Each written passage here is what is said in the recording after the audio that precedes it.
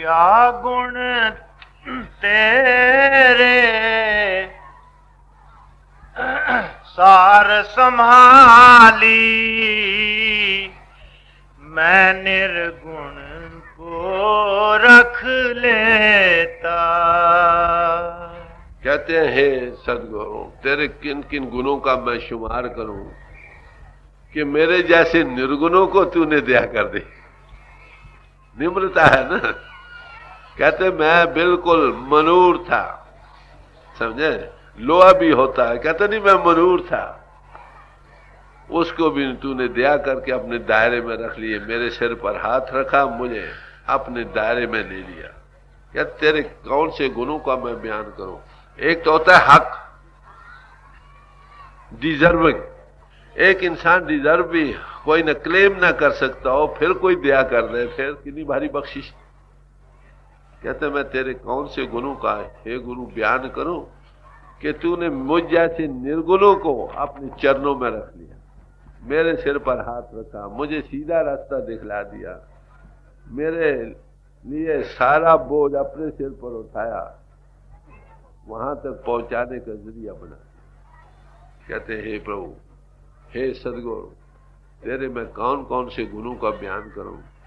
मेरे जैसे अदम को जो इंद्रियों के घाट पर बैठे थे, उसको अपने चरणों में लगा दिया। यही गुरु अमरदास जी साहब ने कहा, हम नहीं थे उत्तम वह। कि हम कभी इंद्रियों के घाट पर थे, अब हम उत्तम पदवी को पा गए। कहते, कब से? जब तक गुरुमत बुद्ध पाए। गुरु की मत को अख्तियार किया। दे भई उडीनी कंत को अमाली सो फिर कद नैनी देखा। कहते मेरे अंदर है प्रभु, आपके मिलने की बड़ी तड़फ बढ़ रही उडीनी उडीनी पंजाबी लफ्ज है जिसके मैंने हिचकिचाट हो, न रह सकता हो, न पा सकता हो, ऐसी हालत बन जाए कहते, मेरे अंतर है माले तेरे मिलने की ज़बरदस्त रूलिंग पैशन बन चुकी है, तड़फाट है, आपके बगैर चैन नहीं, राहत नहीं। हिचकिचाट है, न रह सकते हैं, न मर सकते हैं, न जी सकते हैं। ऐसी हालत बन चुकी है कि, हे मालिक, हम तुमको पाने के लिए ऐसी हालत में जा रहे हैं, सो फिर कदम देखा नहीं कि वो वक्त कब आएगा, जब उसमें उस प्रभु के अपने आँखों से दीदार करूँ ये सदगुरु की कृपा से हो सकता। परमात्मा ज्योति स्वरूप है। समझे? जब तक हम हमारे अंतर की आँख ना खोले, हम उसकी ज्योति को देखने वाले नहीं हो सकते। तो ये उसकी आँखों से देखने का सवाल कब पैदा होता है? जो गुरु, गुरुमुख, सो गुरुमुख देखा नहीं, जो गुरुमुख बनेगा। और सदगुरु की तारीफ़ यही दी है। सदगुरु मिले ता अखी वेखा। करे अंदर सच पा जब सदगुरु मिलता है, ये अपनी आँखों से देखने लगता। इसकी वो आँख बन जाती है, जिससे वो नज़र आने लगता। है तो अब भी। कहा नहीं है वो? हर एक जगह जरे जरे में समा रहा है। ये जो तू देखदा, ये संसार जो तू देखदा है हर का रूप है। हर रूप नजरी आया। है भाई, जो तू संसार देख रहा है, ये हरि का रूप है। और वो आँख बन जाती है जिसको ये हरि का रूप हर वक्त नज़र आने लगता है। हमारी वो आँख अभी बनी नहीं है। है घट में, सूजत नहीं, लानत ऐसी जिंद। वो घट घट में बस रहा है, जरे जरे में समा रहा है। कहते लानत ऐसी ज़िंदगी को जो उसको देख नहीं रहा। कहते कारण क्या है? तुलसी या संसार को, ब्याह मोतिया बिन। दुनिया को मोतिया बिंद हुआ पड़ा। मोतिया बिन एक बीमारी है, पानी का पर्दा आँखों की धीरे के सामने आ जाता। कुत्ते बिनाई अंतर में है तो सही पर्दा आ जाने के सबब से नज़र आना बंद हो जाता। अगर कोई लायक डॉक्टर उसका ऑपरेशन कर दे, पर्दे को उतार दे, नज़र बहाल हो जाती है। ऐसी भाई है परमात्मा घट में। हमारे अंतर माया की जहर का पर्दा चढ़ा पड़ा है। तंगल और तंग तंग दिली और तसब का पर्दा आया पड़ा है। अगर ये हट जाए, कोई महात्मा हमारे अंतर में हटा दे, हमारी अंतर में कूते बिनाई है तो सही, मगर वो बंद हो रही जो महात्मा उस आँख को, जिसको शिव नेत्र करके कहा है, थर्ड आई करके बयान किया, अगर उसको खोल दे, उसी का नाम महात्मा। गुरु लफ्स कहते हैं, जो अंधेरे में प्रकाश करे आँख बंद करो तो अंधेरा है, इसमें जो ज्योति को प्रकट कर सकता है, उसकी श्रुति को, उदगीत को सुना सकता है, प्रणव की धुनी को, उसी का नाम गुरु है। अरे भाई, इतने जहाँ गुरु मिलते हैं, हम पाँव धोने को तैयार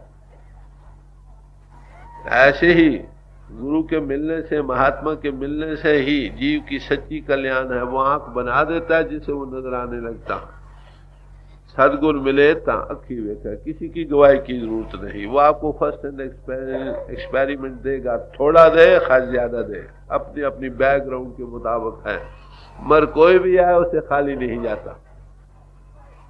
शमस तबरेज साहब ने फरमाया कि हमने हज़ारों मादर दाद अंधों को आँखें बख्श दी हैं। हज़ारों मादर दाद हम सब अंधे हम करना। अंधे से ना आखियन जिन मुख लोड़ना है अंधे से ही नानका जे खसमो कुत्ते जा अंधा उनको नहीं कहा जाता, जिनकी चेहरे पर आँखें नहीं है। अंधा उनको कहा जाता है, जिनकी अंतर की वो आँख नहीं बनी जिससे मालिक नज़र आता जो खसम से दूर हो रहे हैं, टूट रहे हैं, वो नज़र नहीं आ रहा, वो सब बंदे हैं। अब देखिए, हम सब बंदे हैं। कहीं कहीं कोई जागता, आँख खोली वाला महात्मा मिले, वही हमारी अंतर की आँख को खोले तो खोले ना। सब महात्माओं कहते हैं घट घट में परमात्मा की ज्योति है। अरे भाई, तुमने कभी देखी है? सवाल तो ये हज़ार ग्रंथ पोथिए, पढ़े चले जाओ। हज़ारों बाहर मुखी अपरा विद्या के साधन करते चले जाओ, सारी उम्र करते चले जाओ। ये अंतर की आँख नहीं खुलती, जब तक कोई खुली आँख वाला महात्मा न मिले। उसी का नाम सच्चे मानव में महात्मा और गुरु और साधु और संत। समझे? गुरु काड तली दिखलाया एवं ब्रह्म करके देता। कुछ तजुर्बा थोड़ा कराता। ऐसे पुरुषों की सोबत का नाम ही सत्संग। ऐसी जागते पुरुषों की सोबत में ही जीव की कल्याण हो सकती है। एक जागता पुरुष है। सारे सोए पड़े हम कह सकते हैं ये जागते पुरुष की संगत है। उसमें ये समर्थ है, सबको जगा दे, क्योंकि खुद जागा हुआ है ना। हम सारे ही मन इंदु के घाट पर मोह माया में सो रहे हैं। अपने आपे की होश नहीं, प्रभु की होश नहीं। जिसम और जगत का रूप बने बैठे हैं। हम आलम भी हैं, फाजिल भी हैं, हाकिम भी हैं, सब कुछ भी हैं। मगर आँख नहीं खुली, जागे नहीं। तो ऐसे पुरुषों के उपदेशों से भी तुम्हें क्या मिल सकता? समझे? सदगुरु की तारीफ़ सदगुरु मिले ता अखी वेखा जिसकी आँख खुली है, वही आँखों से दिखाएगा ना भाई। जिसने खुद नहीं देखा, तुमको कैसे दिखाएगा? लेक्चर, हज़ार कथा, ज्ञान, वार्ता तुम सुन लो। जिन्ना प्रचार आज हर एक समाज में हो रहा है, शायद कभी कहीं नहीं शायद शायद ही किसी जमाने में इतना हुआ हो। मगर क्या कितने के लोग हैं जिनको अंतर की आँख खुली है? हमारे हजूर भी फरमाया करते थे, अरे भाई, नाम देना तो एक चरखा काटने वाली लड़की भी दे सकती है। समझे? चरखा काटने वाली लड़की भी दे सकती है। सवाल तो संभाल का और पर्चा देने का। जब तक वो नहीं, कहते, ऐसे गुरु को दूर से सलाम। नाम और गुरु दोनों को सलाम। तो सम्राट पुरुषों की महिमा है। सवाल तो सर भी तो ऐसे महापुरुष की ख्वाहिश जिस हृदय में प्रभु के मिलने की ख्वाहिश होगी बेख्तियार ऐसे महापुरुषों की चरणों में उसका जी लगेगा बात तो जो वो कहेंगे, वो करेंगे। तो कहते हैं यही कि हे,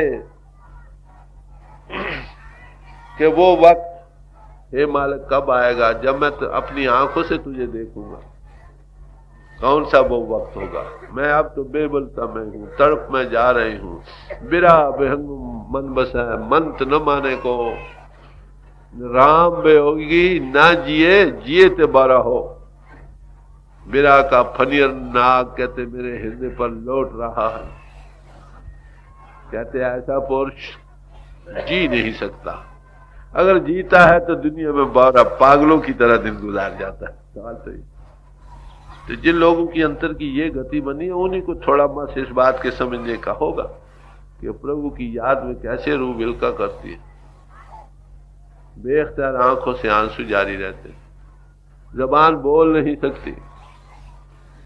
प्रेम इसका नाम नहीं। कभी हंसा, कभी रो पड़ा भाई। आठ पैर भीना रहे, प्रेम कहावे सो। जैसे अंतर में छुरी लग जाए, छुरा खुबा रहो। ऊपर से बंद हो, वो दर्द हर वक्त महसूस करता है, ऐसे ही जिसके अंतर उस प्रभु की अंतर में लोचा बन जाती है। जैसे गुरु रामदास जी साहब ने फरमाया तो उसी के लिए ये सारा हालात बनते हैं, उसकी यही हालत होती है। जिसकी ये हालत हो समझो प्रभु आने वाला। इसमें बड़ी बिलबलाहट है, बड़ी बेचैनी है। हाफिज साहब ने एक जगह कहा कि ए फराक, अगर तू मेरे हाथ चढ़ जाए तो तेरे गली में मैं फराक की रस्सी डाल दू तुझे पता लगे कि फराक में क्या दुख है। जो इस हालत से गुजरते हैं उन बेचारे को न खाना सूझता है न पीना सूझता है। मीराबाई कहती पाना जो पी, पीली हो मैं पीली हो रही पान की तरह। लोग कहे पान रोग। क्या लोग कहते शायद इसको वो होता है पनरे हो गए। कहते नहीं भाई। फिर वो क्या कहते हैं, मैं इतनी दुबली हो गई उस हाव में मालिक के मिलने के लिए कि जो मेरी यहाँ चूड़ी थी ना कलाई के, वो डोलों पर आने लग गई। यही सब महात्माओं ने इसका ज़िक्र किया। अरे भाई, जब तक ऐसा हृदय की हालत नहीं मिलेगी उसके पाने के लिए, प्रभु अभी दूर। हमारे अंतर तो दुनिया की हवस, दुनिया का लब लालच फंस रहा है, समझे?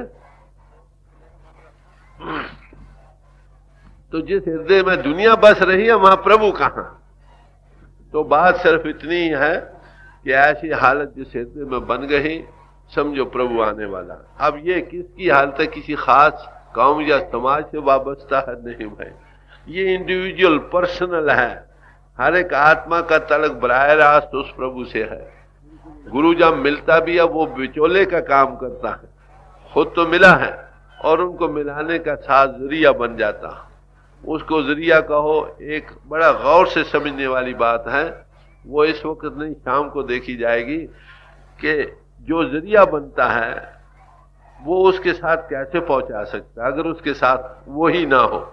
ये बयान किया जाता है कि परमात्मा वाद उल्ला शरीक। उसका कोई सानी नहीं, कोई भाई नहीं, कोई माता नहीं, कोई पिता नहीं।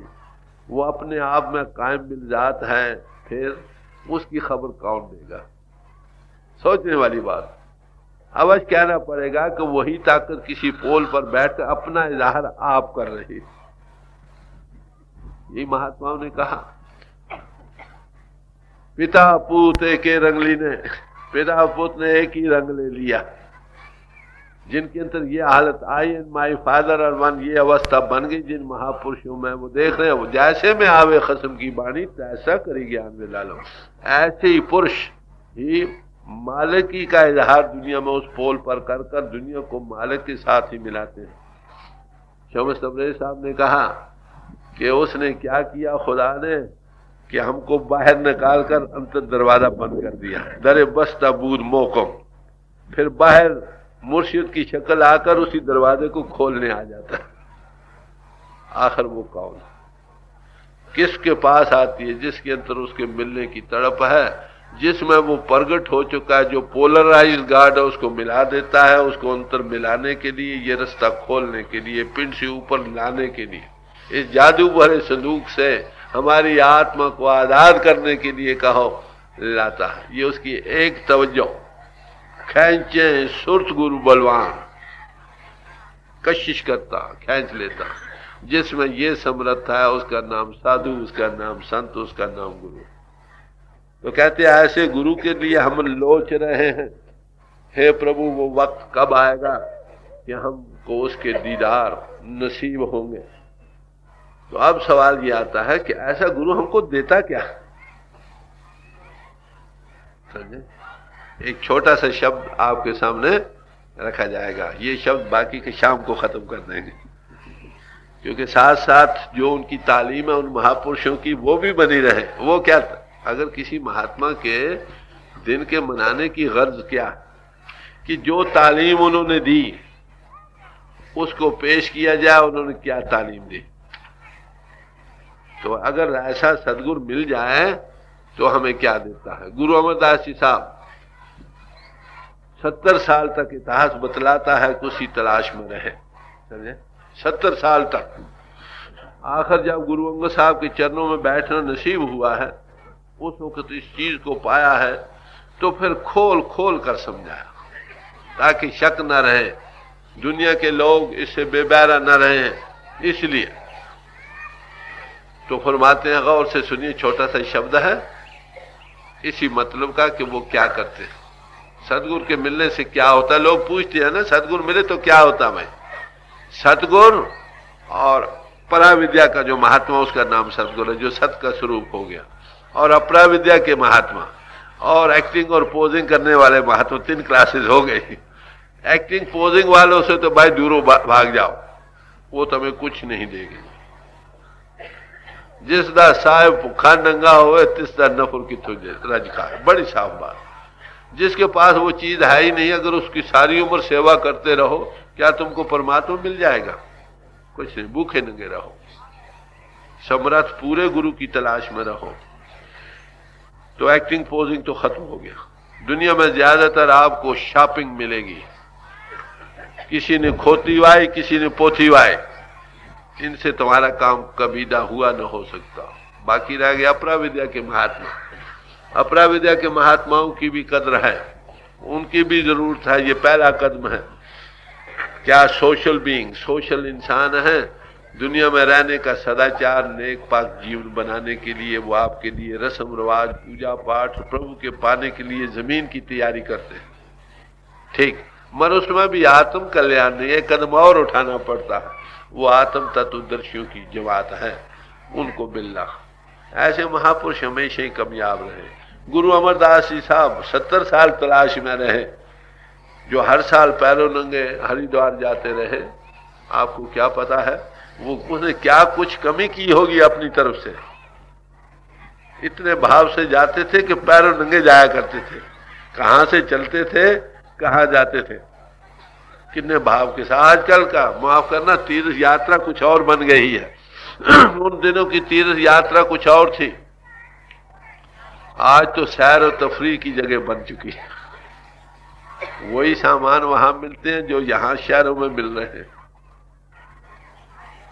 मैं पीछे दफ़ा हरिद्वार गया, वो जगह मुतबरक है, मैं अर्ज़ करूँगा।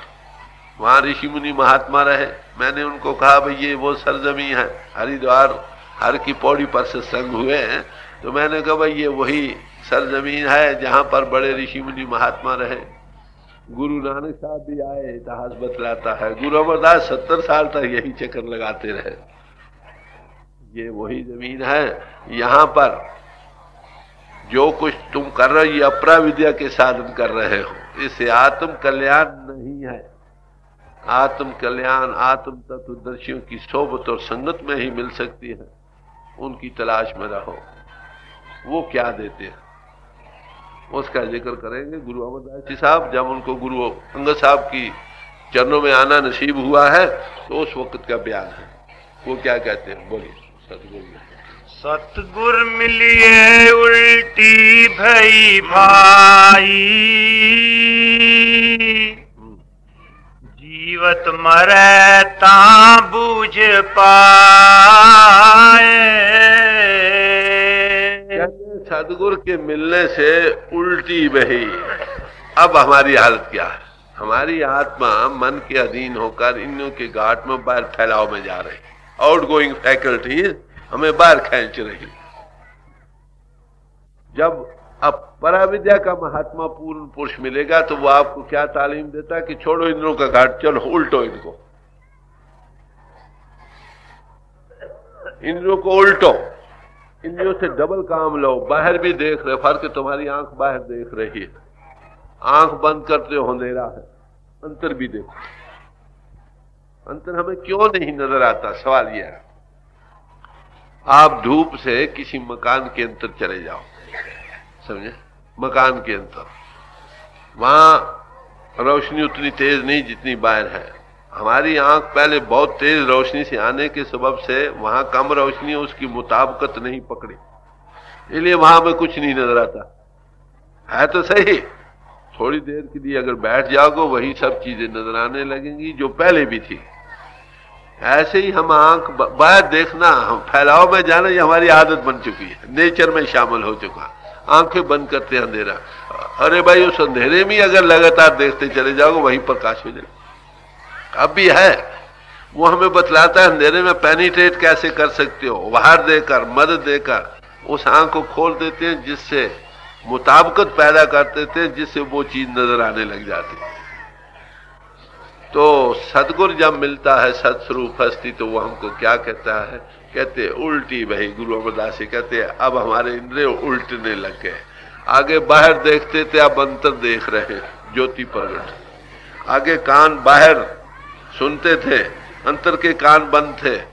अब अंतर के कान भी खुल गए और वो नज़र आ रहे सुनाई दे रहा तो बाहर की इंद्रिय उल्टने लग गई ये सदगुरु का काम है। वो आपको बाहर मुखी इंद्रियों के घाट के साधन में नहीं लगाता।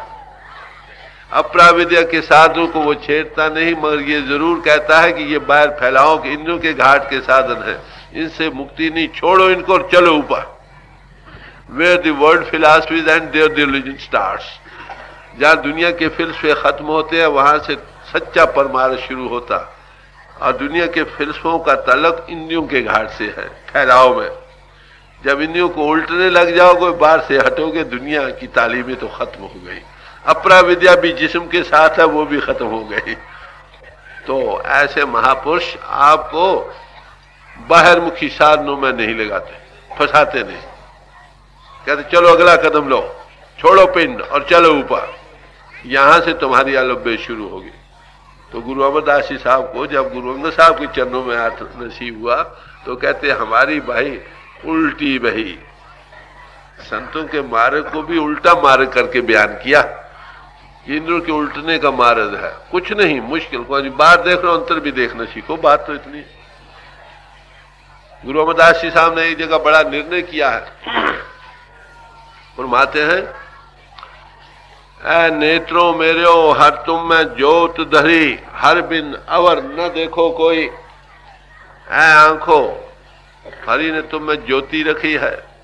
उस ज्योति के सिवा किसी और को मत देखो। फिर ये कहा, ऐ सरुनो मेरे ओ, हर शरीर लाए, सुनो सत बानी। ऐ कानो, तुमको जिस्म के साथ लगाया गया था, ताकि तुम उस सत बानी को सुनो। वो जो उद्गीत हो रहा है, जो कभी फना होने वाली बानी नहीं। मगर ये बाहर सुन रही है। तो यही कुरान शरीफ कहता है कि मुर्शिद, हमारी कानों पर और आँखों पर जो मोरे लगी हैं, उनको तोड़ता है। जब तक तो वो ना तोड़े, ना अंतर दिखाई देता है, न सुनाई देता। वो परमात्मा की कलाम कदीम हो रही है। कलमा हो रहा है, बांग आसमानी हो रही है, नाम की धुनी हो रही है, प्रणव की धुनी हो रही है, नाद हो रहा है। वो हम सुन नहीं रहे। परमात्मा की ज्योति घट घट में है। सारे पसर रही है, मगर हम उसको देख नहीं रहे। तो गुरु अमरदास जी साहब क्या कहते हैं कि जब सदगुण मिलता है, इंद्रिया फैलाव में जाए, उल्टने लग गई, ये दोनों चीज़ें पैदा हो गई। पहले क्या हालत बनी? कहते, जीवत मरे। मरते समय क्या होता है? रूप इनको छोड़ती है। जिसमें बेहस हो जाता, जड़ चेतन अलहदा हो जाती। जिसको कहते जीते जी मरना। प्लूटार्क, सेंट प्लूटार्क कहता है कि अभ्यास के वक्त इस रस्ते में जिनको इनिशिएट किया जाता है, उनको वही तजुर्बे पिंड को छोड़ने में होते हैं जो अंत समय मौत के समय होते हैं। सब महात्मा एक ही बात कहते हैं। ओल्ड इजिप्शियंस में दो क्लासेस थी। एक तो साइकी दूसरा पापटी एक तो वो जिनको दाखिल कर दिया अब पूछता, तुम कौन है? क्या मैं रामदास हूँ, मैं राम सिंह हूँ। उसको बच्चे जैसा भी एहसास नहीं रहता। तो इंद्र, जैसे से हम ईश्वर के जिस्म का रूप बने बैठे हैं तो ऐसे महात्मा करते क्या?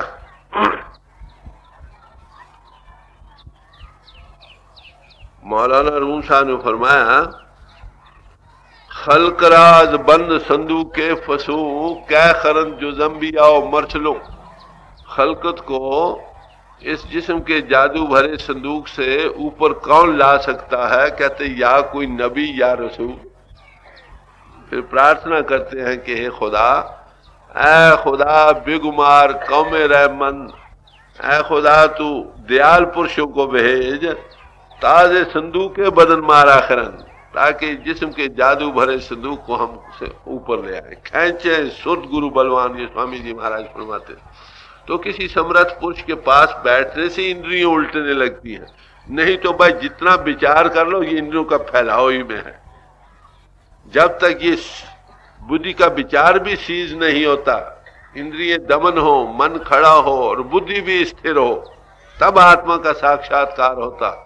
तो इसको स्थिरता कहो बाहर से हटना कहो, इंद्रियों का उल्ट। तो जब गुरु मिलता है तो क्या होता? गुरु अमरदास जी साहब फरमाते हैं, सदगुरु मिलिए उल्टी बही बहाई। जीवत मरे ता बूझ पाए। तो किसी अनुभवी पुरुष, सत्स्वरूप हस्ती के मिलने से क्या मिलता है कि इंसान की इंद्रियाँ उल्टने लगती? अब फैलाव में जा रही हैं। सब महात्मा यही कहते तू देख, उलट कर मन में उल्टो भाई तो इन्वर्शन कहो, अंतर्मुख होना कहो, इंद्रियों का उल्टना कहो, एक ही बात। है जब रूह इंद्रिय उल्टेंगी, छोट जो फैलाव में जा रही, वो नहीं जाएगी। तो नतीजा क्या होगा? जिसम बेच हो जाएगा। रूह पिंड को छोड़ेगी। जब जी, इसी को जीते जी मरना कहा, जीवत मरे। कि जब तक ये गति ना हो, ता बूझ पाए। जो जीते जी मरेगा, जिसकी इंद्रियाँ उल्ट उल्ट कर अंतर्मुख हो जाएँगी, वही जीते जी मरेगा, वही ता बूझ पाए, तब उस प्रभु की बूझ ना उसको हो सकेगी, बाकी नहीं। वो अपने आप को भी जान सकेगा और फिर प्रभु के जानने के काबिल भी हो जाएगा। इस जीवित मरने के मुतलक सब महात्माओं ने उपदेश दिया। गुरुबानी में आया है, ले फरमाते हैं, नानक जीवनिया मर रही है, ऐसा योग कमाइए। भाई, ऐसे योग की कमाई करो जिससे तुम जीते जी मर सको। जीते जी मरना कैसा है? मौलाना रूम साहब ने फरमाया कि मुझे तुमको जीते जी मरता हुआ देखना चाहता है। कहते, तुम डरो नहीं, ये ऐसी मौत नहीं जो तुमको कब्रिस्तान में पहुँचा दे। बल्कि मुर्शिद अपने तालब को मरा हुआ देखना चाहता है इस शक्ल में कि उसको अंधेरे से नूर की तरफ़ ले जाए, अंतर की आँख खोल दे, बस। यही और और महात्माओं ने कहा। कबीर साहब फरमाते हैं, मरिए तो मर जाइए, फूट पड़े संसार। ऐसा मरना को मरे दिन में सौ सौ बार, एक बार नहीं भाई, जब चाहो पिंड से आओ आओ जाओ, गुरुमुख आवे जाए निशंक। ये बाकायदा एक इल्म है, साइंस है जो महापुरुष इसकी तालीम हमेशा देते रहे और हम भूलते रहे। जब कभी वो आए, इसी साइंस को ताज़ा करके जाते रहे। वो क्या था? इंद्रियों के उल्टने का मार्ग, जीते जी मरने का ज़रिया। कबीर साहब कहते हैं कि मौत, कहते दिन में सौ सौ बार जब चाव पिंड जाए और आए। हमारे हजूर के मुतल एक बार ज़िक्र आया था, एक डॉक्टर साहब आए उनके मुलाजा के लिए। उसने मुलाजा करना चाह कहते अच्छा भी कर लो, उन्होंने ख्याल अपना यहाँ रख लिया, जिसम बेच हो गया। वो देखता है, ये है, वह बात क्या है, कुछ समझ नहीं आती। तो ख्याल ऊपर आ जाए तो जिसम बेहोश हो जाता है। इसी बात के, आप देखिए, किसी महात्मा के जीवन की नज़र मारो। गुरु अर्जुन साहब थे। इस साइंस के पूर्ण माहिर थे। तत्वों पर बैठे। अडोल। कौन इंसान है जो तत्व तो बैठकर बाहुश रह सके? सोच को आँखों में ले आए, जिसम जल जाए, कोई परवाह नहीं।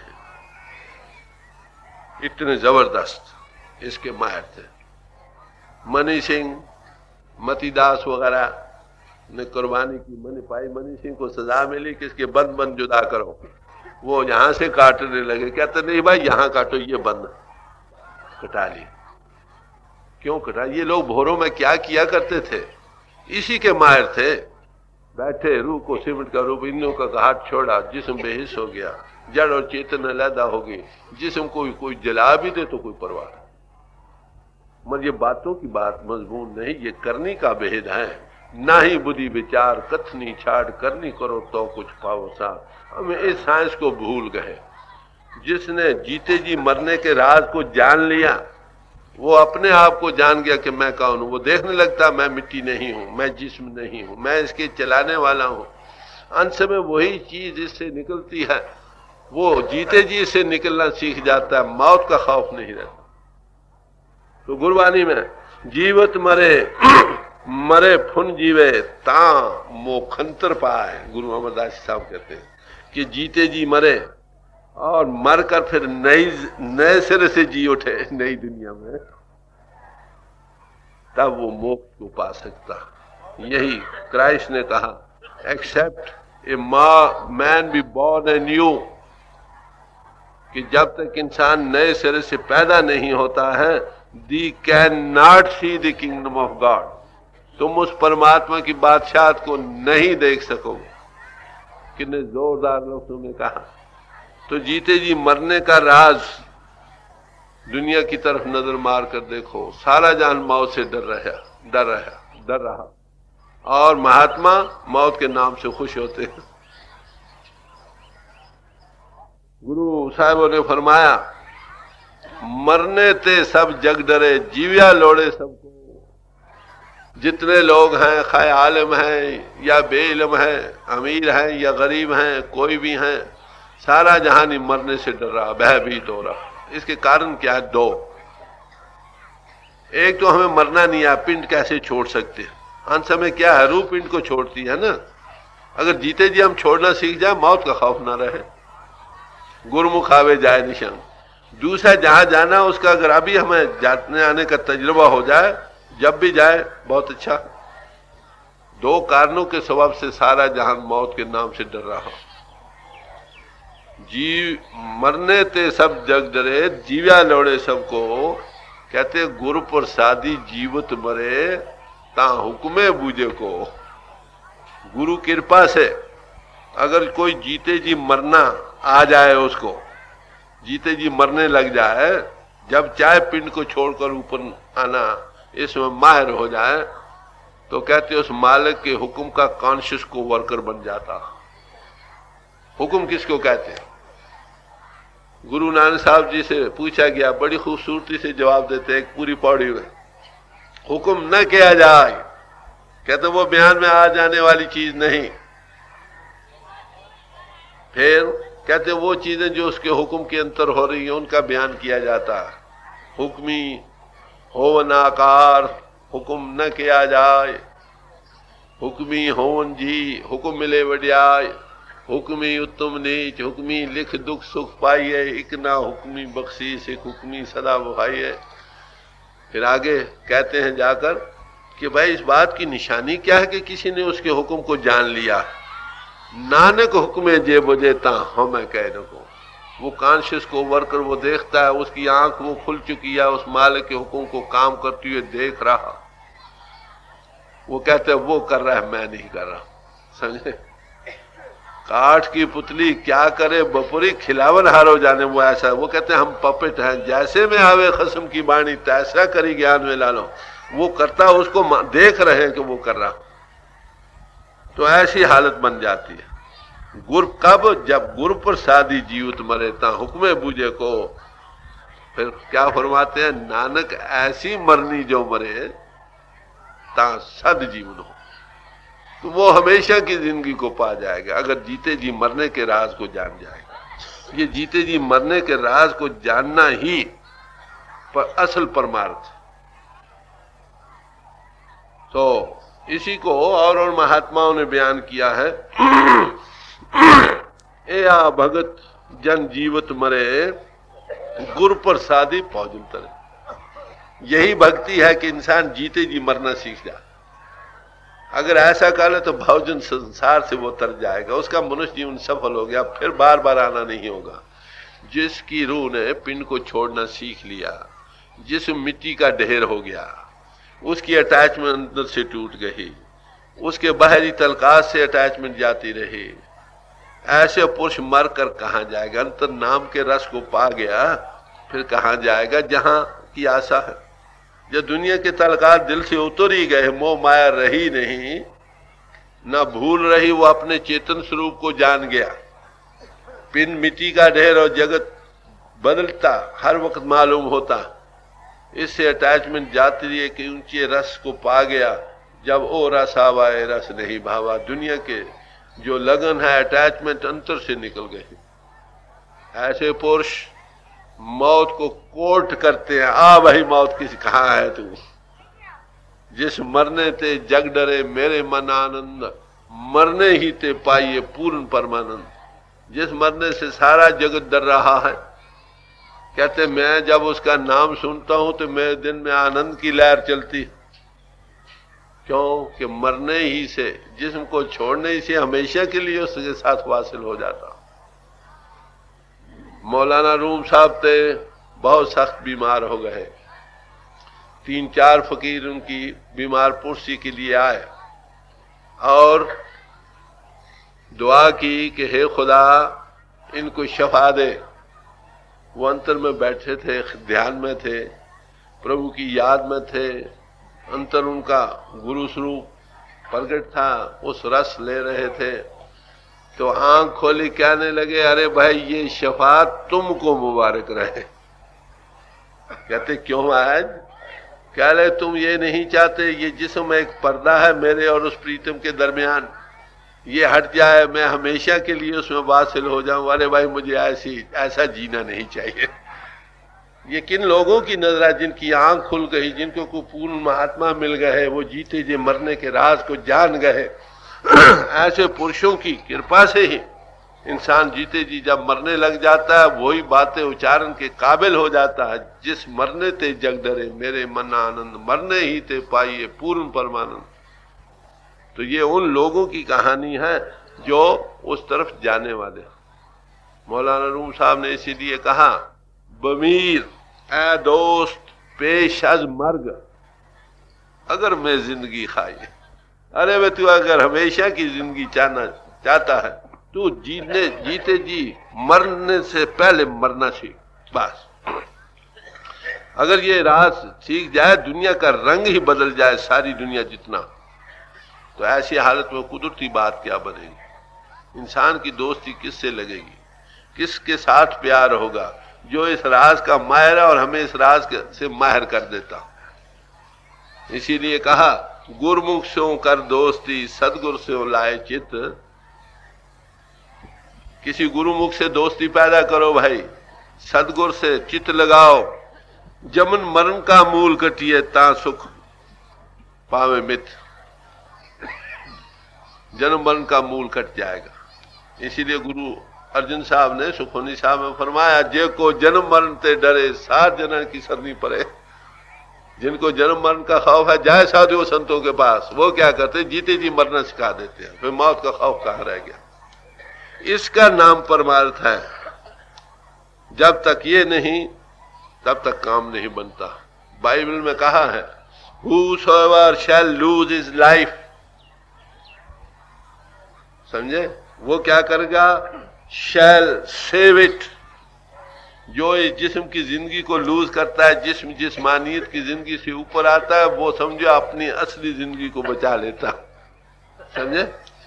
Whosoever shall save his life shall lose it और whosoever shall lose his life shall save it जो इसको पकड़े रखेगा, जिस्म जिसमानियत की ज़िंदगी को, वो हमेशा की ज़िंदगी के राज से खाली रह जाएगा।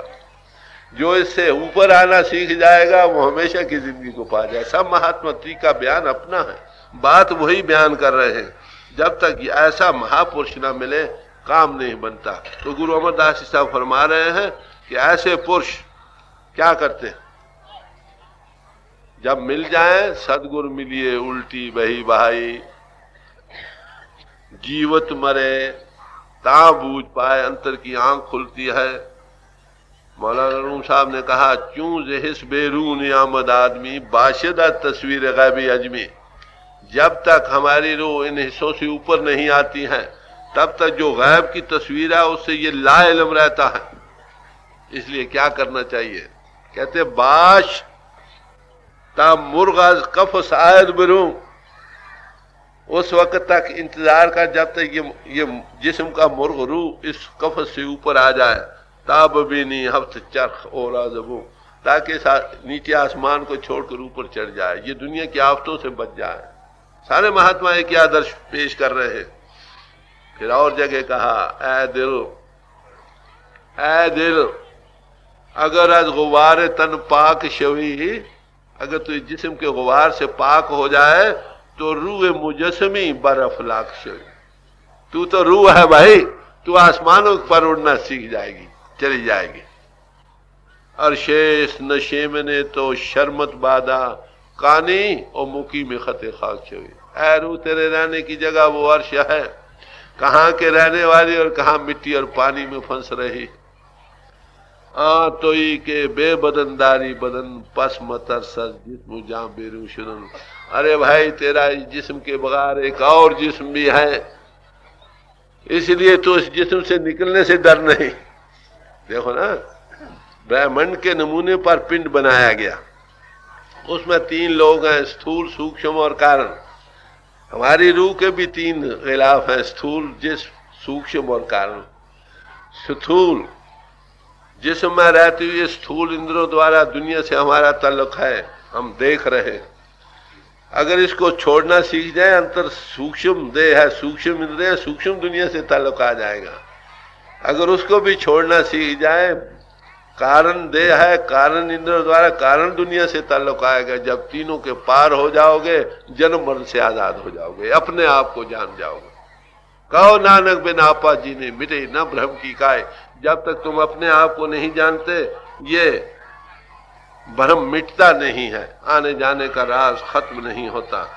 तो इसलिए सब महात्माओं ने इसी पर ज़ोर दिया।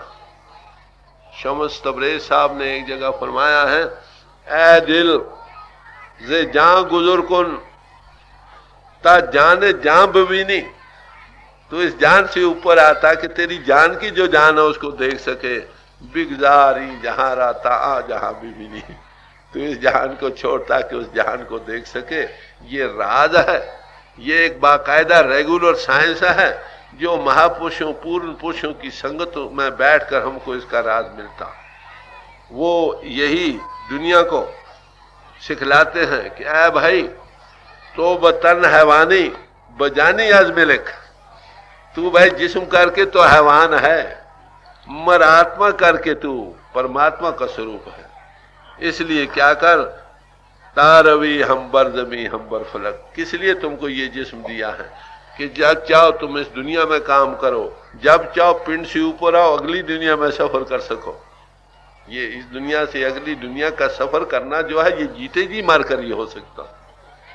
मरकर तो सारा जहाँ नहीं मरता है, मगर वो कहा जाता है? जहाँ आशा, तहां बासा अगर जीते जी पहले ज़िंदगी में जिसम को छोड़ना सीख जाए, अगले मंडलों का सफ़र और हज लेने लग जाए, फिर मर कर कहा जाएगा? बार बार लौट कर वो कब आएगा? आ नहीं सकता। तो गुरु अमरदास जी साहब को जब गुरु अमर साहब के चरणों में बैठना नसीब हुआ, सत्तर साल की तलाश के बाद कई महात्मा और ऋषि मुनियों से मिले होंगे जिसका ज़िक्र इतिहास में नहीं आया। मगर उनकी तालीम से उनकी हमें मिलते हैं इशारे तो तब ये बयानी बयान की है। बड़े गौर से सुनने के काबल है। कहते सदगुरु मिली है उल्टी, वही भाई, जीवत मरे ता बूझ पाए। अरे भाई, पिन जीते जी मरना सीखोगे, तब अपने आप को जानोगे, प्रभु को पहचानने के काबल हो जाओ। देख। सो गुर, सो सिख है भाई। जिस ज्योति ज्योत मिलाए कहते गुरु कौन है और सिख कौन है? वही जिसकी आत्मा परमात्मा की ज्योति से मिलकर एक हो रही। जिसके अंतर यह एहसास जाग उठा, उसी का नाम गुरु है, उसी का नाम सिख है। गुरु सिख होता है और सिख गुरु होता है। गुरु सिख सिख गुरु है। एको गुरु उपदेश चला गुरु शिष्य है और शिष्य गुरु बन सिख किसको कहते हैं? सिख की तारीफ़ अगर संतों की इस्तलाह में देखो तो वो कुछ और है, वो नहीं जो आज हम कर रहे हैं। दसों गुरु साहब से पूछा गया कि महाराज सिख किसको कहते तो फरमाने लगे कि मुझे तो सारा जहानी सिख नज़र आता। कि महाराज वो कैसे कहते जब से बच्चा पैदा होता है मरने तक, वो शिक्षा ही धारण करता। जो शिक्षा धारण करे वो सब सिख। हाँ उसको गुरु सिख बनना चाहिए। किसी आन बही पुरुष के चरणों में बैठना चाहिए, तब गुरु सिख बने। तो गुरु अर्जुन साहब के वक्त आप देखेंगे, इसी का थोड़ा निर्णय करके फरमाया गया कि सिख कौन होता। उनके यहाँ जो भांड थे ना, कीर्तन किया करते थे। उनकी लड़की की शादी आ गई। उन्होंने कहा, महाराज, हमारी लड़की की शादी है, फ़ीस सिख एक टका हमें इकट्ठा कर दो।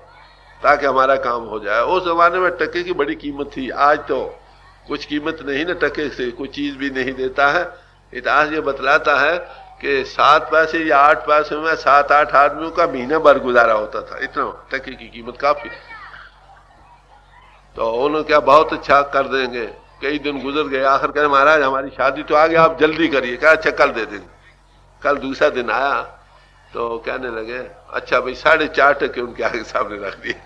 कि महाराज, इतनी संगत बैठी है, आपने साढ़े चार टके रखे हैं। कहते हाँ भाई, पहला से गुरु नानक, दूसरा सिख गुरु अंगद साहब, तीसरा गुरु अमरदास जी, और चौथा गुरु रामदास आदम है। सिख का आदर्श बड़ा ऊँचा। गुरु सिख सिख गुरु है, एको गुरु उपदेश चला है। जो इस राज के जानने वाला, उस हकीकत को पा चुका है, उसका इजहार का पोल बन चुका, उसका नाम सिख, उसी का नाम गुरु।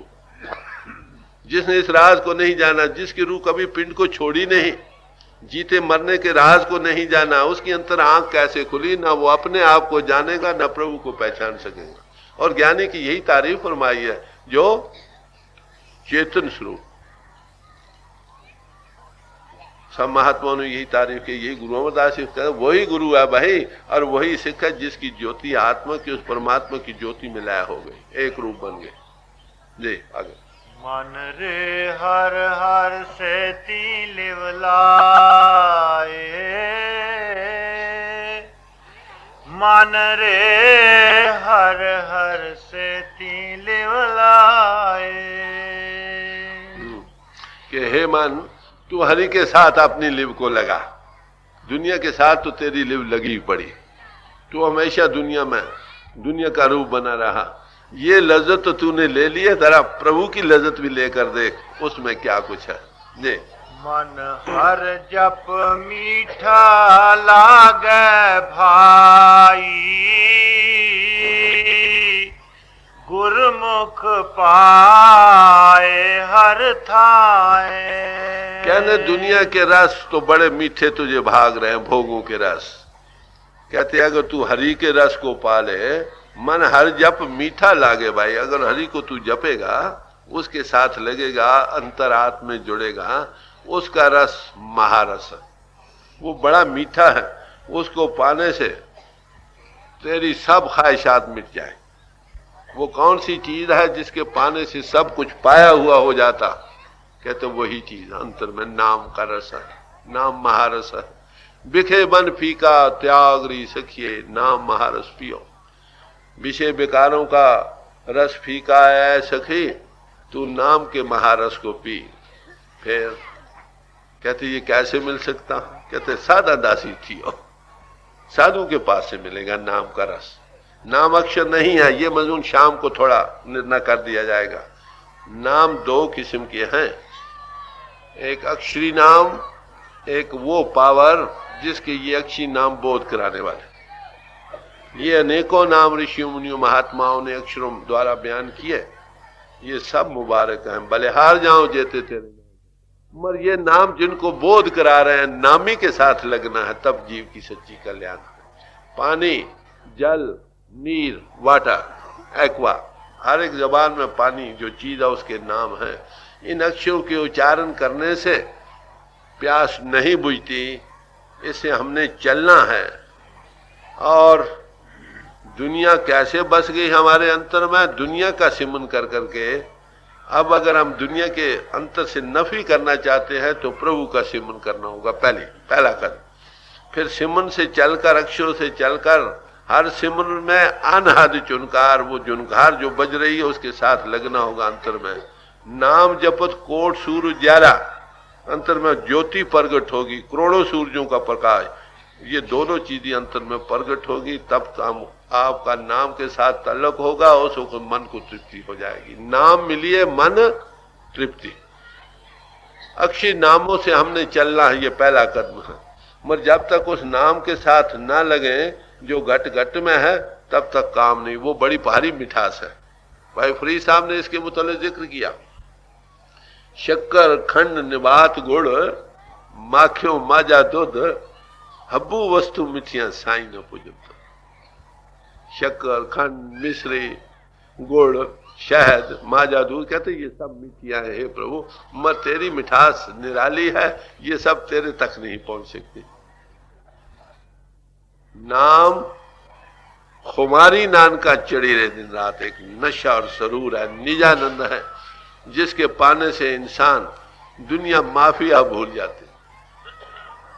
इसमें खुमार है, निजानंदा, नशा है, ऐसा सरूर है। जिसका ज़िक्र शमस तबरे साहब ने बड़े अशारे से किया है कि मेरे अंदर वो निजानंद की लहरें ठाठे मार रही हैं, नशा और सरूर है, उस मालिक की याद का, नाम का, कि अगर मैं मर जाऊँ, जिस्म को छोड़ जाऊँ, इस जिस्म की खाद बनाकर ज़मीन में डाल दी जाए, उस ज़मीन से जो कनक उगे उसकी रोटी जिस तनूर में पकाओ से आनंद के शोले निकलेंगे। फिर आगे कहते, खाने वाले का ज़िक्र नहीं किया। कहते, उस रोटी के परोसने वाला मस्त हो जाए।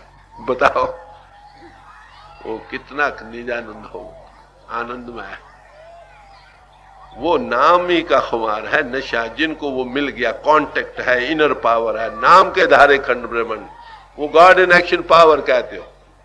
किसी इस महात्मा का काम क्या? आपको उसके साथ जोड़ना, थोड़ा सा तजुर्बा कराना। वो कहाँ होता है? जब आप इन के घाट से ऊपर आओगे।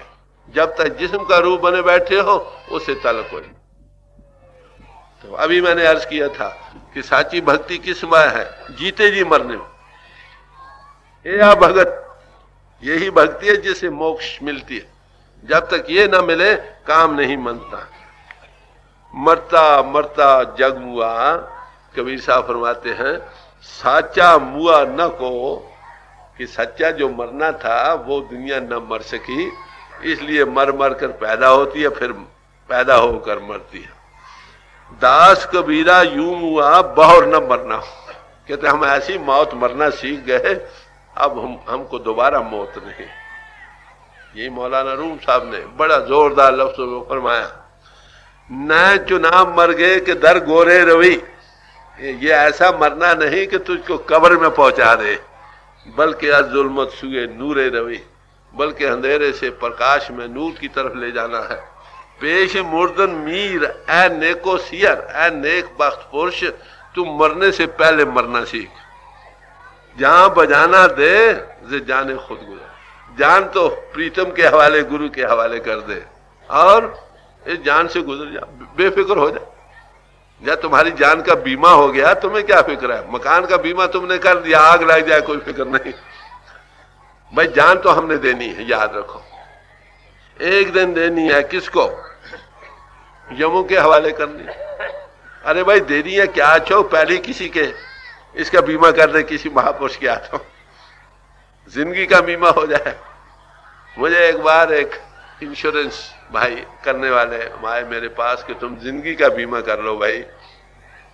मैंने कहा, भाई, मैंने ज़िंदगी का बीमा तो महापुरुषों के हाथों कर लिया, आ गई। तुम मेरी मौत का बीमा करना चाहते हो। दस साल में मर जाओ तो पूरे पैसे ले लो। अगर पूरे दो तो पूरे ही देने पड़ते हैं। फ़ायदा इसी में, दस साल में मर जाओ। तो मेरी मौत का बीमा करने आए हो ना? ज़िंदगी तो आगे ही हो चुकी। तो मेरे अर्ज़ करने का जान तो देनी ही है। क्या अच्छा हो कि पहले किसी महापुरुष के हवाले कर दे। वो हमें क्या करेगा? पिंड से ऊपर लाना सिखा दे, मौत के खौफ से आज़ाद हो जाओ। ये काल कुआरी काया है, जिसम का मंगेवा हो चुका है, काल से ये ले जाए, वर जैसी, लह जैसी पड़ रहा है। तुमको छोड़ना पड़ेगा। अरे भाई, छोड़ना तो पड़ेगा, इसे अभी छोड़ना सीख जा तो क्या अच्छा। समझे? छोड़ना तो है ही। यहाँ इविक्शन आर्डर कहीं हो। आपको पता है क्या करते बारिश हो, कोई फ़िक्र नहीं। सामान उठाकर बाहर फेंक देते यहाँ हो सकता है शायद किसी की सिफारिश चल जाए। शायद उस हुक्म की तामील में कुछ देरी हो जाए, जब धुर धुर दरगाह से परवाना फटता। इवेक्शन ऑर्डर शुरू होता है, आपको निकलना पड़ता है। अरे भाई, कोई एक्सेप्शन नहीं। कोई ताकत नहीं जो उसको रोक सके। अगर आप पहले ही इसको छोड़ना सीख जाए तो क्या अच्छा आया मौत का परवाना हाँ भाई, हम हाजिर हैं। आपको पता है गुरु तेग बहादुर साहब जो दिल्ली तशरीफ़ लाए हैं? उनसे पूछा कि महाराज, आप कैसे जा रहे हैं? तो फरमाना ये जिस्म का ठीकरा जालम के सिर फोड़ने के लिए उनको पिंड का छोड़ना क्या है भाई? एक मिट्टी का ठीकरा है। वो रोज छोड़ते दिन में सौ सौ बार उनको मौत का क्या खौफ है? यही एक राज है जिसको हमने ज़िंदगी में सीखना। अगर ये राज को पा गए मौत के खौफ से आज़ाद हो गए। ऐसा पुरुष हर एक काम में बड़ी कामयाबी और खुश असलूबी से जोरदार ताकत से काम कर सकता है। जिधर डायरेक्ट करे वो सुर्ख का पहलवान बन जाता।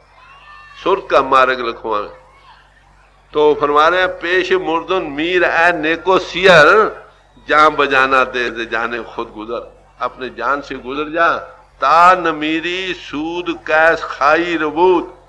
जब तक तू जीते जी ना मरे, इस मनुष्य जीवन से तू पूरा फ़ायदा कैसे उठा सकता? रो बमीर बैरा बरदार जा भाई तू मरना सीख, अगर जिसम से फ़ायदा उठाना चाहता है। कितने जोरदार लोग, एक ही तालीम दे रहे।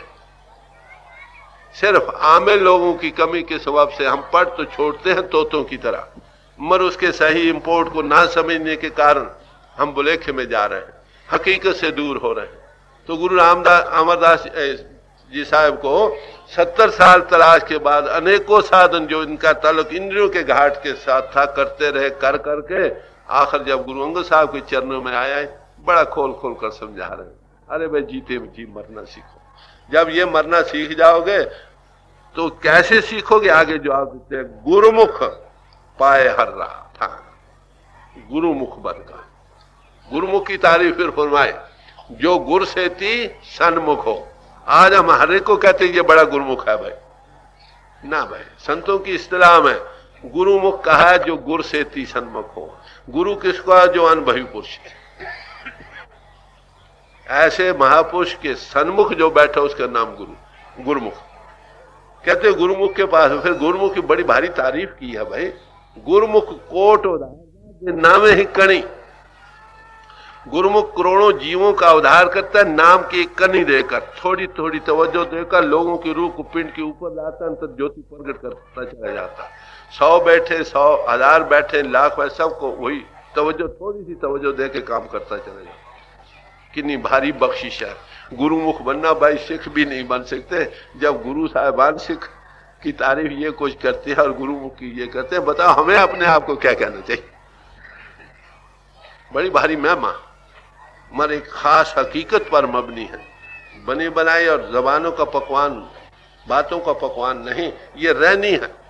रहनी रहे सोई सिख मेरा सो साहब में किसका चेहरा। बयानी दो तरह की है, एक बाहरी, एक अंतरी। बाहरी गुरमत की रौ रीत पहली सामाजिक क्रिया है, ये पहला कदम है। जिसमें हो भाई जिसम को उसके हवाले कर दो। यीशु मसीह के पास एक दफ़ा एक कायन लेकर आगे जो सिक्का था, कहने लगे कि भाई, यहाँ का बादशाह हमसे खिराज माँगता है। तुम कहते, तुम हमारे सच्चे बादशाह हो। बताओ, ये क्या किया जाए? कहते लाओ कायन, लाए। देखा, इस पर किसकी मोहर है? कहते, बादशाह की। कहते, उसके हवाले कर दो। तुम्हारी रूहों पर परमात्मा की और पूर्ण पुरुषों की मोहर उनके हवाले कर दो। तो संत महात्मा आपकी समाज को नहीं छेड़ते। वो उसमें कहते, रहकर इस राज को सीखो, जो आत्म तत्वदर्शी होना। जब इसको पा गए जिस समाज में हो तो मुबारक हो। अगर इस राज को नहीं पाया जीवन बर्बाद चला गया। दे इकराहो करके आगे बयान करते हैं कि गुरु मुख होकर ही ये चीज़ मिलती है। ये मुसलमा अमर है इसको हृदय में धारण कर लो। दे आगे।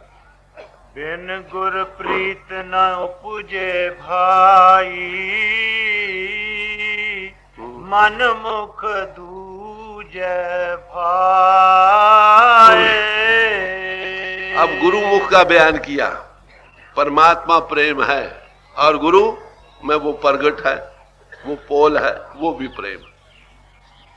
कहते, जब तक गुरु ना मिले प्रीत नहीं उपजती। क्यों?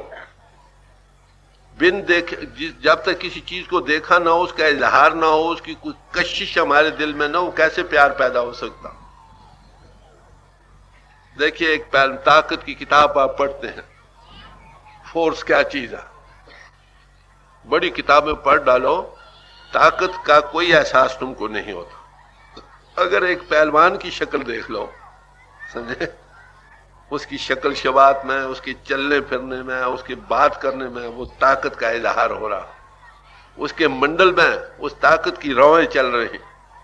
तब आपको हो, प्यार बड़ी अच्छी चीज़, ताकत बड़ी अच्छी चीज़ है, शौक पैदा हो। तो पहलवान मिले तो ताकत की प्यार बने ना। अगर कोई ऐसा प्रेमी का हो, पूर्ण पुरुष का हो, जिसके अंदर परमात्मा का प्यार कूट कूट कर भरा है, वो मुझे मुजस्म प्रेम है, उसके देखने से तुम्हें भी प्यार जागे।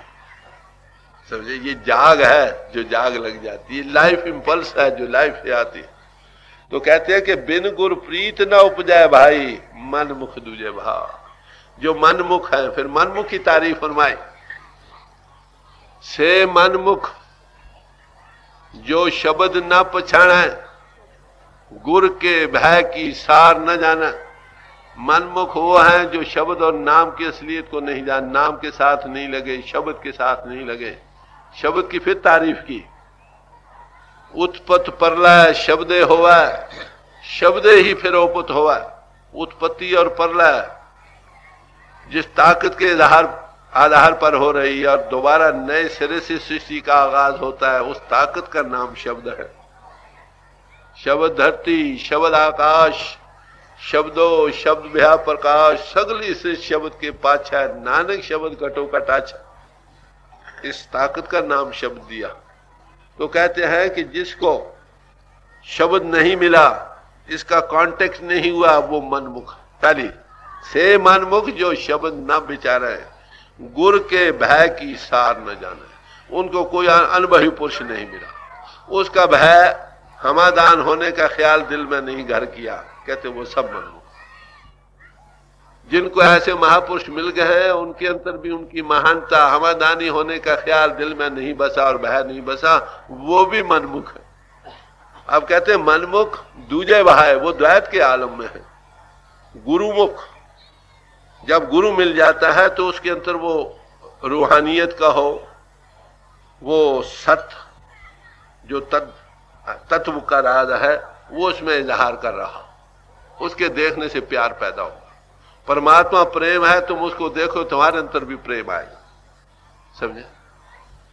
और ये एक और बात मैं आपको करूँ, एक शायर ने बड़ी खूबसूरती से बयान किया है, जहाँ हुस्न नहीं, वहाँ इश्क भी पैदा नहीं होता, बुलबुल गुले दीवार पे शायदा नहीं होता।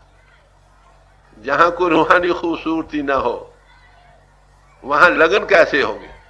कशिश तो रूह में है ना, कर्षण शक्ति है जो खेचती है लोगों को। हमारे हजूर थे, हज़ारों, कई बार हज़ारों से भी बढ़कर लाख लाख के करीब आदमी इकट्ठे होते थे। सांस लेते भी आदमी नहीं मालूम होते थे। पर्सनैलिटी का, जीवन का असर तो कहते हैं, जब ऐसी हालत, जिसके अंदर कोई कशिश नहीं, कोई खूबसूरती, खास हुसन नहीं है क्यों वहाँ लगन भी नहीं पैदा होती दूसरे को। कहते, कभी आपने देखा कि बुलबुल हो और दीवारों पर फूल फूल उकरे हुए, वहाँ चाहती हो, कहते, कभी नहीं। सचमुच फूलों पर तो वो चाय चाहेगी ऐसे ही भाई, सचमुच जहाँ रूहानी पुरुष है, जिनके अंदर रूहानियत तो उस परमात्मा का इजहार हो रहा है। जब वहाँ पहुंचोगे, बेख्तियार बुलबुलें गाएँगी। तुम कशिश में जाओगे, खिंचे हुए चले जाओगे। सब तरफ़ से कशिश इतनी आकर्षण शक्ति होगी कि सब तरफ़ तुम्हारे चित्त वृत्ति हटेगी। वो जीवन पुरुष है, जीवंत पुरुष है। समझे? गुरबानी में कहा, हर की पूजा सतगुरु पूजो, कर कृपा नाम तरावा। हरि की पूजा क्या है कि सत स्वरूप हस्ती को पूजो। जो इसके अंदर सत का इजहार हो रहा। और सतगुरु कौन है? फिर मैं आपको अर्ज़ करूँ। गुरु के तीन दर्जे हैं गुरु, ये पांडे का काम करता। एक गुरुदेव, जो दिव रूप गुरु है, पिंड से ऊपर और नूरी स्वरूप है, उसका reading form of the master, वो मंडलों में साथ सफ़र करता, हर वक्त सिख के सदा अंग संग रहता। और जब वो उसमें लय हो जाए, वो सत का स्वरूप हो जाता है, इसलिए कहा सदगुर या भरपूर है वो जिस्म नहीं है, वो जिस्म के पोल पर वो ताकत आप सस करती है, उसका नाम सदगुर। कहते जब ऐसा सदगुरु मिले, उसमें ताकत का इजहार है, उस मालिक का। बेख्तियार तुमको कशिश होगी और प्यार पैदा होगा। जीवंत पुरुष के पास गुरु अमरदास जी साहब सारी उम्र तराज सत्तर साल तक छोटी, थोड़ी उम्र नहीं होती। जब गुरुंग साहब के चरणों में आए, उनके साथी भी आए थे। मगर वो कहे, चलो भाई, आया करते थे तीर्थों पर जाने के लिए तो उनको कहे, चलो भाई, चलना है क्या? तो मैं तो भाई पहुँच गया जहाँ पहुँचना था। तुम जाओ, फिर आओ। फिर उनको बड़ी खूबसूरती थे, मिसालें दे दे कर समझाने का यत्न किया, अरे भाई तुम क्यों गुमराह हो रहे हो? एक दफ़ा कहते हैं, उनको थोड़ी एक तुम भी दे दी कि भाइयों, तुम जाओगे, इसको जरा स्नान करा लेना, जहाँ जहाँ तुम स्नान करोगे। गए, वापसी पर मिले, क्यों जी हमारी तुम्बी को स्नान कराया कि हाँ महाराज, काटा, पानी डाल कर दिया, पियो, पिया तो कौड़ा था। जी ये कड़वा है। करे अभी इसकी कड़वापन नहीं गया। इतने तीर्थों पर स्नान करके भी। अरे भाई, इसका कड़वापन नहीं गया, तुम्हारा कैसे जा सके? अंतर की मैल को धो भाई, तब काम बनेगा। बाहरी तीर्थ इसलिए बने थे कि वहाँ महापुरुष ऋषि मुनि महात्मा रहे। समझे? वो मुबारक स्थान है। उन्होंने भजन सिमर किया, प्रभु को पाया, जहाँ वो रहे तिनके जीन खुरगीन सब पवित्र है। ठीक? मगर अब वहाँ जाकर हाथ लगाने से मुक्ति नहीं भाई। उसमें जो महानता की चीज़ पैदा करने वाली थी, उसको हासिल करो। जहाँ कई महात्मा जा बैठे, वही तीर्थ स्थान एक एक महात्मा चार चार जगह गए चार चार जगह तीर्थ स्थान बन गए। गुरु नानक साहब तलवंडी पैदा हुई ननकाना साहब बन गया। वली के नारी से बातचीत हुई तो पंजा साहब बन गया तो जहाँ जहाँ महात्मा रहे महात्मा तीर्थों के मोहताज नहीं है, याद रखो। तीर्थ ऐसे महात्मा के मोहताज रहे। वजह तस्मिया उनकी यही आती है कि वो जहाँ तीर्थ, महात्मा रहे, वो तीर्थ स्थान बने। कबीर साहब एक जगह कहते हैं, क्या? कहे, कबीर, हम दास। तीर्थ बड़ो के हर का दास। बताओ कौन बड़ा। ग्रंथ पोथियाँ कहाँ से आई? ऐसे महापुरुषों के अंतर से आई अरे भाई, वो ये कुछ भी है, कुछ और भी है। तो ऐसे ज़िंदा पुरुषों से मिलने से ही जीव की कल्याण है। सदगुरु पूजो, हर की पूजा सदगुरु पूजो, कर कृपा नाम तरावा फिर आगे क्या कहते हैं? कि जो जी से रहतपुर चीज़ें हैं मड़ा सरे में ताकि खल बिरथा समझाए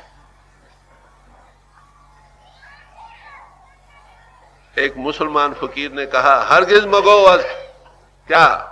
कि काबा से बुतखाना बेतरस्त ये कभी ना कहो कि काबा बुतखाने से बेहतर है भाई। हर जा के जलवाए जानानास्त बेहतर जहाँ उस परमात्मा का इजहार हो रहा है, वो सबसे आला। उसके पास बैठने तुम्हें शौक पैदा होगा। इजहार, कशिश पैदा होगी। एक खूबसूरती रूहानियत की तुम्हें खेचेगी।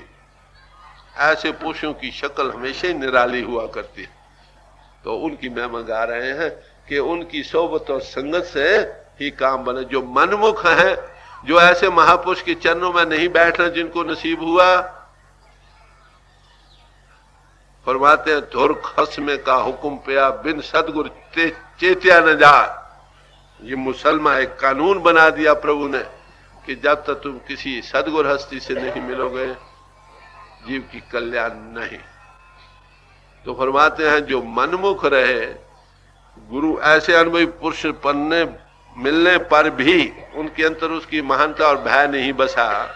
उन्होंने अपना जीवन उसके मुताबिक नहीं बनाया, नाम के साथ नहीं जुड़े, वो सब मनमुख है।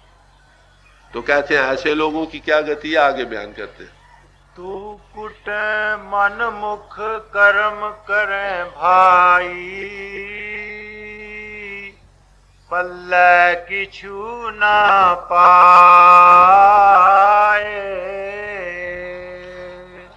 कहते हैं, जैसे तूड़ी कूटी जाए ना तो कुटा। तूड़ी को कूटा जाए तो उसे क्या निकले, कोई दाना निकलता है कभी? कहते हैं, ऐसे ही मनमुख जो इंद्रियों के घाट के पर बैठे हैं और इंद्रियों के घाट के साधन कर रहे हैं।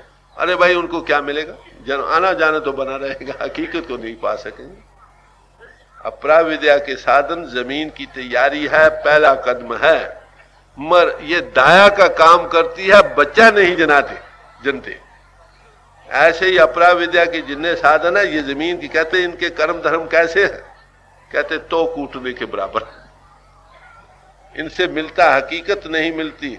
असलियत से इंसान दूर है तो कुटे मन मुख कर्म करे भाई, पल्ला किचु न पाए, ये मन मुख कर्म करता।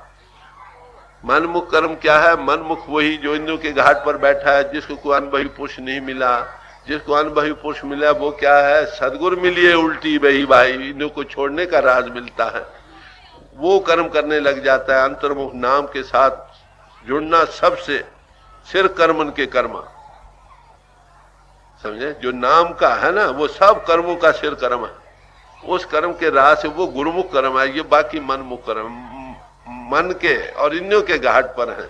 कहते, जब तक तो वो कर्म नहीं होते, इंसान के पले कुछ नहीं पड़ता। मनुष्य जीवन बेअर्थ गुआ जाता। बार बार आने जाने का जो दंड बना रहता। आगे फिर फरमाते हैं। गुर मिलिए नाम, मन रव्या भाई। साची प्रीत प्यार। कहते हैं, जब कोई अनुभवी पूर्ण पुरुष मिल जाए तो क्या होता है? इनको छोड़ना सीखता अंतर नाम के साथ लगना सीखता नाम रवा भाई, रव्या भाई। नाम के साथ मन रव जाता लग जाता नाम मैंने अभी अर्ज़ की थी, नाम वो पावर है जो खंडो ब्रह्मणों की बनाने वाली। वो कहाँ पर है? नौ निधि अमृत प्रभ का नाम दे ही मैं इसका विश्राम। नौ निधियों के देने वाला प्रभु का नाम है उसका बासा डिवाइन लिंक आपके घट घट में है। कहाँ पर? अदृष्ट गोचर नाम पारा। बाहरी दृष्टि और इंद्रियों के घाट से ऊपर आकर उसका ताल्लुक मिलेगा। जब तक सेल्फ एनालिसिस नहीं होगा, पिंड से रूप और आना नहीं सीखेगी, नाम के साथ लगना नहीं। नाम को ध्याना है। जिन्नी नाम दिहाया गए मुशक्कत घाल, नानक ते मुख उजले केती छुट्टी नाल। जिन्होंने अंतरात में नाम के साथ जुड़े हैं, लगे हैं, उसको ध्याया है, उनके जीवन की मुशक्कतें सफल हो गई। उनके अपना मुख मालिक की दरगाह में उजला हो गया, उनके साथ और अनेकों जीवों का उधार हो गया। ये नाम की मेहमान सो फरमा रहे हैं। गुर मिलिए नाम मन रवया भाई, साची प्रीत प्यार। उनके अंदर सच्चा प्यार और प्रेम, जाग उठे। एक चीज़ का अनुभव कर लिया ना। अंतर ज्योति प्रगट हो गई अंतर धुनी जारी हो गई, उसका प्यार और कशिश है, उसमें मैं है, उसका प्यार प्रभु का पैदा होगा। जब नाम पावर के साथ लगे नहीं, उसका कारण है, जब मुसीबत बनती है ना हट काम नहीं करता। आप देखिए पाकिस्तान के दिनों में, क्या हुआ? बहुत लोग ऐसे बने जो कहे, मालूम नहीं परमात्मा है भी कि नहीं। गल ये निकालते थे। यहाँ मेरे पास एक भाई, कुछ चार पाँच महीने हो गए आए थे, वो लाहौर में बड़ा प्रचार करते थे। अच्छे। यहाँ उनके पाकिस्तान में आपको पता है कई मारे गए नुकसान हुआ। यहाँ कर मुझसे पूछते हैं कि सरदार साहब, आप ये ठीक ठीक बताए, सचमुच परमात्मा है। ये हालत मैंने आपको देखा, मैं आपका आस्तिक हूँ। अगर सुनी सुनाई बात पर है तो जब मुसीबत मालूम नहीं है कि अगर है तो सोया पड़ा। यही बात है। तो आस्तिक होना, सच्चे मानव में कब जागती है ये आस्तिकता, जब कोई गुरु अनुभवी पुरुष मिलेगा। अगर तो उसके जीवन में उसका इजहार छल के देता। उस झलकों से फिर वो यही नहीं करता, झलकों पर बस करता। वो आपको पिंड से ऊपर आना सिखाता तो नाम का फ़र्स्ट हैंड तजुर्बा दे देता। उसमें ज्योति भी है, उसमें श्रुति भी है। उसको पाकर सरमद साहब थे उसको कत्ल करने के लिए आए जलाद। तो क्या कह रहे ब्याह ब्याह जा फिताए तो साल। आ भाई, मैं तेरे पर जुर्म तेरी तलवार की, मैं तलवार में भी उसकी झलक है, मैं तुझ पर कुर्बान हुआ ये किन लोगों की गति है जिनकी अंतर की आँखें खुल चुकी जो गुरु मुख हुए, जो अभी मन मुख के, मन के घाट पर, इंद्रों के घाट पर बैठे हैं, खाए वो आलिम है या फाजिल है? कोई भी है, इस दौलत से महरूम रहेंगे। जब तक ये दौलत एक और नेचल नाम धन हो धन आवेगा ये दौलत नहीं मिलती, जन्म बर्बाद चला जाता, बात जी। सदा हर के गुण रव भाई। गुर के हेत अपार। कहते उस मालिक के गुण में हमेशा वो रवने वाला कांटेक्ट मिल जाता हर वक्त तो उसके साथ जुड़ा पड़ा हो। कैसे मिलता? गुरु के हेत अपार। किसी अनबही पुरुष के साथ अपार प्रेम करने से गुरु भक्ति से। गुरु अमरदास जी साहब ने एक और जगह बड़ी खूबसूरती से निर्णय किया है। हर सच्चा गुरु भक्ति पाइया। सहज मन में सामने। हरी सच्चा गुरु भक्ति से मिलते हैं। सहज में मालिक अंतर में प्रगट हो जाता गुरु भक्ति क्या है? गुरु का प्यार। गुरु के हुक्म की बजावरी। समझे? अंतर नाम जो वो साधन दे, नेक पाक बनो, सदाचारी बनो। अंतर नाम की कुमाई करो। इसी का मान है गुरु भक्ति। प्यार से दिल दिल को राह बनेगा। प्यार से रिसेप्टिव बनोगे, बर्तन बनेगा, दूसरे की जो ताकत तुम में ऊद करेगी ट्रांसफ़र होगे। कहते, इससे प्रभु मिलता है। कहते हो प्रभु कैसे, हर वक्त कैसे एहसास में आने लगेगा? देखने में आएगा जब गुरु के साथ अतुट प्रेम होगा। गुरु अमरदास जी साहब का आपको पता कितना भारी प्रेम था। तारीख कासिर है ऐसी और मिसाल पेश करने के, जो उनके अंतर गुरु भक्ति का भाव था। मिसालें तो अनेकों मिलती हैं, मगर एक राज की बात, बड़ी खूबसूरती से आप देखेंगे कि ब्यासा नदी पाँच कोस के करीब थी। क्या चार पाँच कोस के करीब थी? खडूर साहब से जहाँ गुरुंग साहब रहते थे, रोज वो जाना, पानी लाकर स्नान कराना, ये भी कोई बड़ी बात नहीं। बस जिस भाव से वो जाते वो देखने वाली बात, वो पिछले पहुँच जाते थे कि कमर गुरु की तरफ़ न हो जाए। बताओ न भारी गुरु प्रेम। By as you think so you become गुरु भक्ति ही उसके पाने का राज है। यीशु मसीह ने कहा कि जैसे अंगूर का दरख्त हो, उसमें शाखें लगी हों।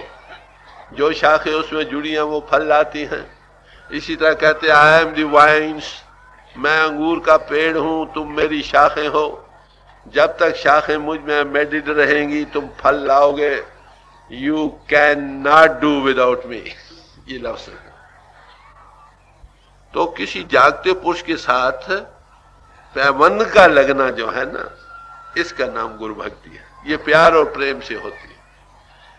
प्रेम एक ऐसी तलवार है, आम तलवारों का कायदा है कि एक चीज़ पर चलाओ, दो टुकड़े करती है।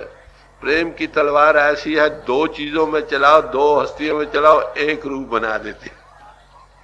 सो ये गुरु भक्ति का राज तो कहते हैं कि गुरु के अपार प्रेम से तुम हर वक्त नाम, जो रब रहा उसके जुड़ने वाले बन जाओ जी आया सो परवान है भाई। जे गुर की सेवा चित लाए। कहते हैं, उस इंसान का दुनिया में आना सफल है, जिसको अनुभवी पुरुष मिला हो और उसकी वो सेवा में लग गया हो। सेवा किसको कहते किसी बुज़ुर्ग भाई को भावना सहित, जो हुक्म दे उसकी बजावरी करे, हर तरह से उसकी सेवा कबूल करे। तन करके, धन करके, मन करके सुरत और नृत्य करके, इसका नाम है सेवा। कहते मनुष्य जीन पाकर गुरु मिल जाए, फिर उसके ये सेवने वाला बन जाए, क्या खुशकिस्मती है। उसका जन्म सफल हो गया। गुरु अमरदास जी साहब को मतलब ज़िक्र आता है कि हर साल उनको सिरोपाप मिलता था गुरु अंग साहब से। वो सिर पर ही बांधे रखते थे, उतारते नहीं थे। सेवा बड़ी ऊँची चीज़। है बड़े भागों से मिलती है। मनुष्य जीवन मिले, पहले गुरु मिल जाए, ऐसा अनुभवी पुरुष मिले, फिर उसकी सेवा नसीब हो जाए, फिर क्या कहना? उसका जन्म सफल हो जाता। हाँ जी। नानक नाम हर पाय भाई। गुर शब्दी मेला कहते हैं कि नाम से ही प्रभु मिलता है। वो परमात्मा नाम है। वो इंटू बीइंग आया, नाम हुआ। नाम सब खंडों ब्रह्मंडों के बनाने वाला और परिपूर्ण हुआ। उसके साथ लगने ही से प्रभु मिलता है। नाम डोरी है जो हर एक आत्मा को प्रभु के साथ मिलाती है। समझे? जिसका मगर उसका तलक हर एक इंसान के अंदर है मलिंदियों के घाट से ऊपर मिलता है। इस काया नगरी अंदर मंगन चढ़े योगी ता नाव पले भाई। जो इस काया नगरी में मंगन चढ़ना सीख जाए, छह चक्रों से ऊपर आना सीख जाए, वो नाम के साथ लगते। कहते, जो नाम को पा गए, वो मालिक से मिल गए वो मान माले के पाने का ज़रिया। से ये गुरु अमरदास जी साहब की मानी थी, जो आपके सामने रखी गई कि सदगुरु के मिलने से क्या मिलता। कौन सी तालीम हमको मिलती है? आप ये देखें, ये कोई अपरा विद्या नहीं। निरोल परा विद्या आत्म तत्व का राज है, जो उनको गुरु साहब के चरणों में मिला, जब मिला तो खोल खोल कर समझाया।